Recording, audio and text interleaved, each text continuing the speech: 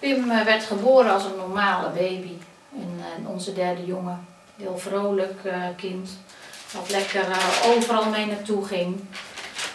Helaas rond zijn vijfde werd Pim ingeënt. En eh, was hij allergisch voor de DKTP.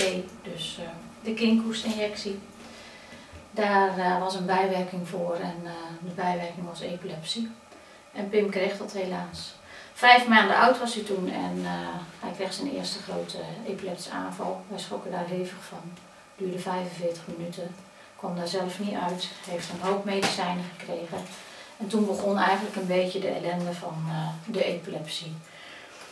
Pim had regelmatig epilepsie, viel overal neer. Heeft op een bepaalde leeftijd ook een helmpje gedragen om, eh, om zich eh, te beschermen.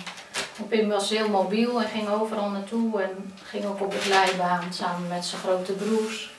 We gingen naar het pret- pretpark, maar ook daar viel hij wel eens regelmatig neer met een grote epileptische insult. Door die vele aanvallen ging hij toch achterraken in ontwikkeling. En, eh, maar hij praatte wel gewoon en was gewoon mobiel en deed van alles mee met ons gezin. Wij gingen gewoon lekker op vakantie. Op een gegeven moment eh, was Pim 4,5 en gingen we op vakantie naar Turkije. En daar heeft Pim een heel groot epileptische eh, aanval gehad. Heeft eh, vier dagen in coma gelegen. Is al zijn functies verloren. Kon niet meer zelfstandig zitten, niet zelf slikken. Heeft ook zondevoeding gekregen, een tijdje lang. Eh, kon niet meer praten en hadden ook helemaal geen contact meer met hem. We zijn teruggevlogen naar Nederland en zijn in een revalidatieproces eh, terechtgekomen. Om Pim weer te leren zitten, lopen, zelfstandig eten en drinken. Maar dat is eigenlijk allemaal eh, maar voor een gedeelte gelukt. Pim kan niet zelf eten en drinken, hij moet alles aangeboden krijgen, is niet zindelijk, heeft een leeftijdsniveau van 1 jaar. En is ondertussen 15 en gewoon een heerlijke puber. Eh, loopt moeilijk, ziet heel slecht. Ehm, heeft dus meerdere handicaps eh, aan deze aanval en zijn epilepsie overgehouden.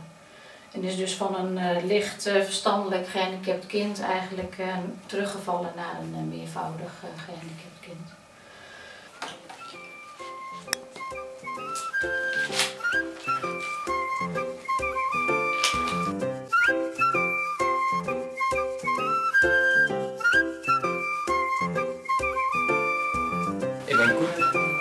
18 jaar, ik ben de broer van Pim. Ik heb een uh, gehandicapt broertje. Mensen vragen wel eens aan mij van eh, hoe is het nou om een gehandicapt broertje te hebben. Nou eerlijk gezegd weet ik niet beter. En eh, eigenlijk is het fantastisch, want je maakt dingen mee die anderen niet meemaken.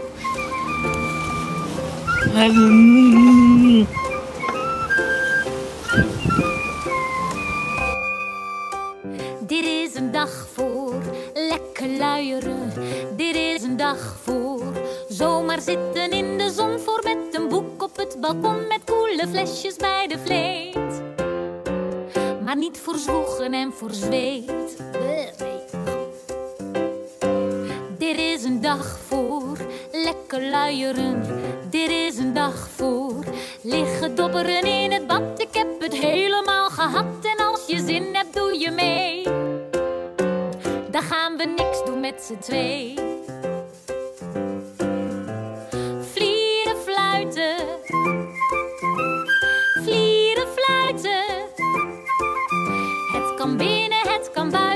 De bank of op de fiets. Dan ben je lekker bezig en doe je lekker niets.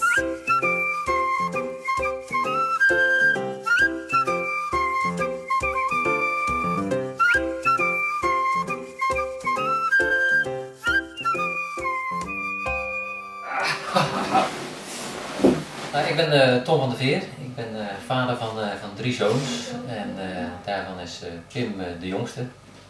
Pim is eh, nou een kerel van, eh, van 15.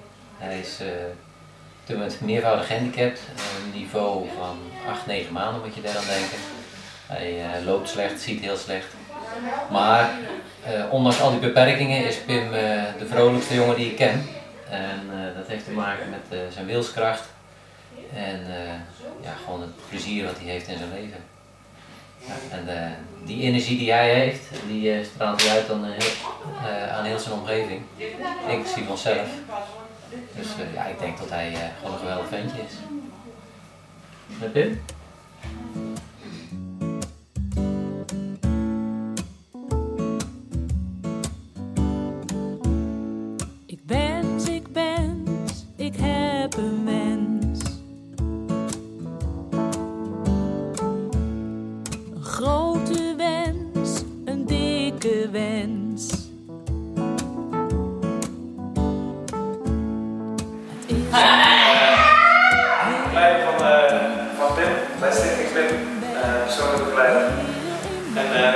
Prachtig zwembad. eh we heel veel gebruik van maken.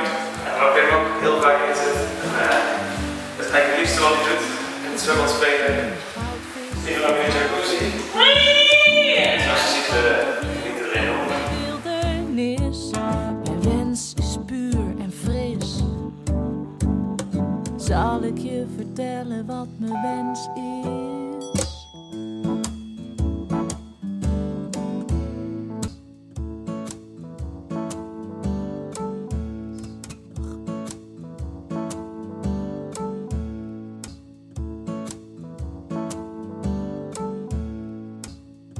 Wordt 's ochtends wakker met een lach en gaat zo ook weer slapen.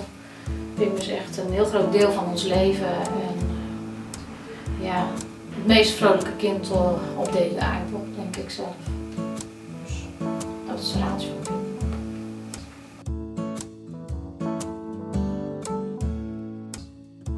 Dus ja, ik denk dat hij een geweldig ventje is. Pim?